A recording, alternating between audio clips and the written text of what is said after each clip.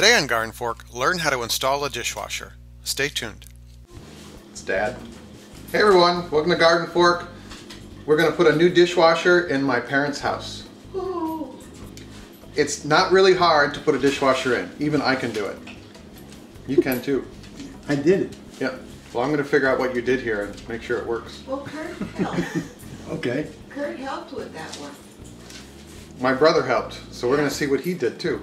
Anyway, my point here is you can go buy a dishwasher and put this in. Um, there's just a couple things we got to keep in mind. Two important things are turn off the water and turn off the electricity. Very simple. Thing slides out, put a new one in, boom, you're done. Okay? In here, we have a drain coming from the dishwasher that's clamped up here at the top of the food disposer. Sometimes it just goes straight into the side of the pipe. And then, oh, in the back here, in the back here is a valve going to a flexible line here. And here's the valve. And we're gonna turn that valve off. That turns off the water supply to the dishwasher. If you don't have a valve coming off the side of the hoses feeding your faucet, you should go downstairs and turn the water off downstairs at your water main. Where's the electricity you're supposed to unattach? Oh, right here is the plug for the dishwasher. Newer dishwashers usually come with a power plug rather than being hardwired. Go downstairs and turn off the circuit breaker if yours is hardwired. But this isn't, so we can just take this and pull it out and your dishwasher is disconnected. These are my sister's dogs. This is Harriet and Hazel. They're both rescue pups. From where? Diana's Grove. Diana's Grove. Yeah, excellent.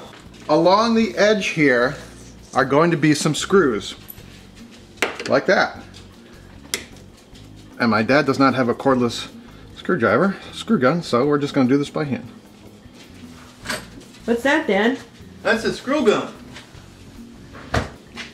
This is very garden fork. this is what I learned. This is what I learned on.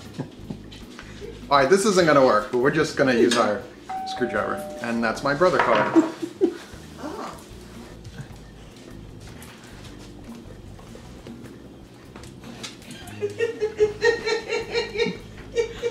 They're helping you with the dishwasher. Some dishwashers have a, uh, this one on the counter, there's a kick plate going across the bottom of the cabinet, so you're gonna have to unscrew that and take it out. Kick plate comes off. Holy mackerel. And then this, it just pulls out. You lift it up.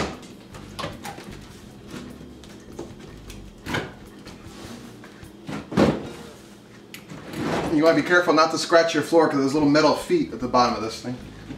So you sort of walk it out a little bit. There's always something that catches, so we have to just. There you go. That's a dishwasher. This is the water line that goes up into the, wa- the dishwasher, so we have to disconnect this water line. What kind of wrench is that? This is a adjustable crescent wrench.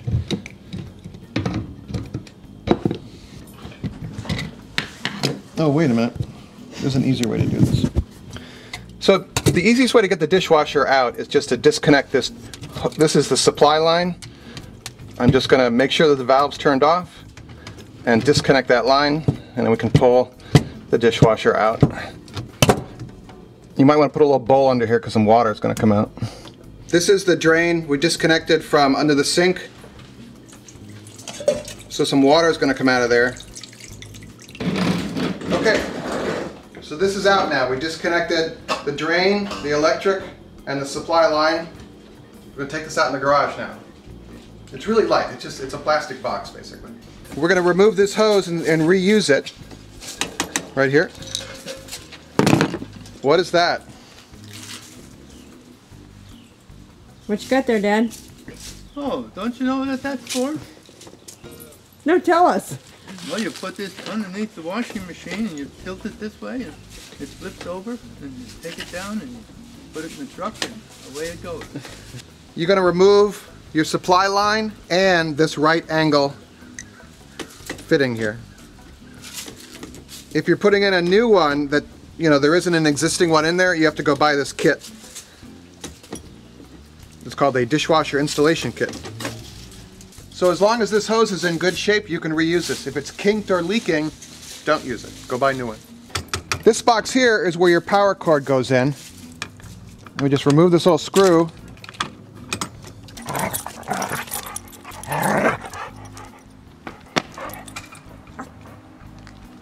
Why are we taking out this thing for the power supply? This is the power cord for your dishwasher and we're going to reuse it because most dishwashers don't come with the power cord. So we're just going to take it off the old one before we put it out for the recycle guys to come pick up. This little screw comes out. That comes out.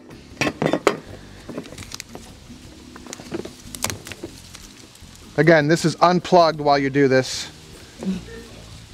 And you disconnect these wire nuts, save your wire nuts. My brother put this in so you can tell. Look at all that cable tie, which is unnecessary, but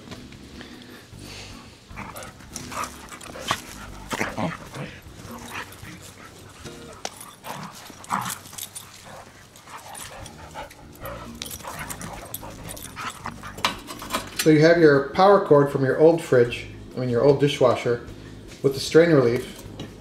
And feed that through this hole. Read the directions that come with your dishwasher. Tighten that down with your pliers. So again, we've got white wire and white wire. Twist the two white wires together. We take this wire nut.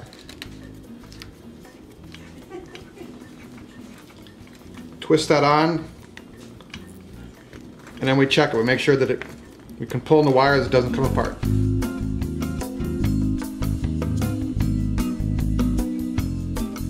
So we have a uh, right angle adapter for our water supply. We're going to put Teflon tape on that. And then this goes right in here and falls off.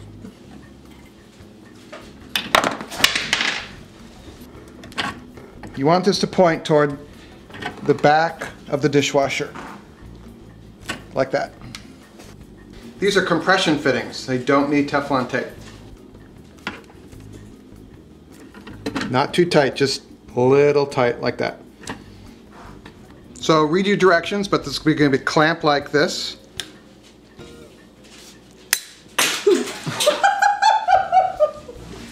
If all else fails, read directions. This is the right clamp for the drain. Just read the directions and I'll tell you that. There you go, much better clamping. All right, our hoses are going back through the original holes. So my hand is under the cabinet here. I'm gonna pull the hoses through as dad pushes the dishwasher in, all right? There's some little feet, there's some little feet on the bottom of your dishwasher to level your dishwasher. So you want to bring it in and out a couple times, make sure it's level. Just screw and unscrew the feet, there's four of them, to make it level, because level is important. Level is important. You like that with the hands? Yeah, very affirming. Yeah. Be sure to read your instructions because the way the drown is, drain is routed is important because essentially you have to put a little trap in this tubing.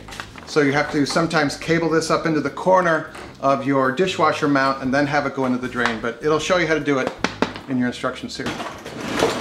We just put that in, Eric. Yeah, I know, we forgot. Um, you have to put the insulation, which where it says do not remove, we accidentally removed it. So you put the insulation around this thing. It keeps it much quieter. So under here are usually two brackets, sometimes there's more. And then there's a strip of wood under your cabinet. And you will screw this.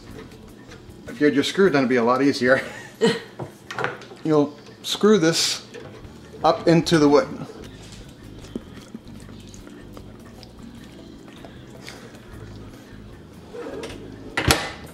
All right, plugged in the power, turned on the water valve, connected the drain.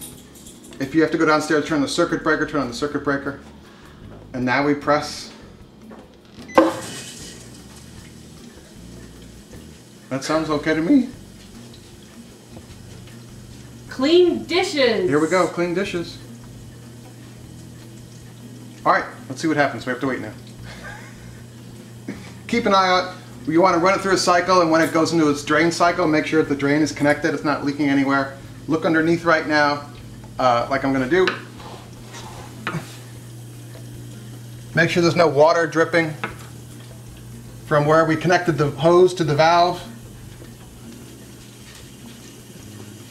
Get some dog kisses. Yeah, it's not leaking, but I'm being licked, so. So you like the dishwasher? I love it. It looks beautiful, beautiful. You did a wonderful job. All right, there you go. Subscribe if you like our show. Hit the subscribe button or leave us comments below or send me an email, eric at gardenfork.tv. All right, thanks for watching.